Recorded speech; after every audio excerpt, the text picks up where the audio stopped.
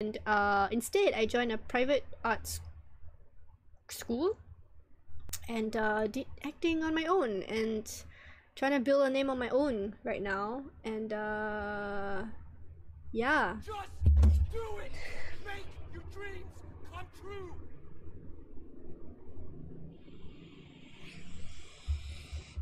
bro what was that I was like so passionate in like talking you know and then